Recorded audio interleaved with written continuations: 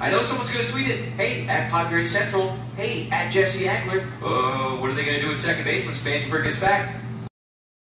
By the way, the last three tweets that have come in. For discussion's sake, who goes away when Spangy is ready to be activated? The next tweet, how about Myers? And then after that, what are we going to do when Spange gets back?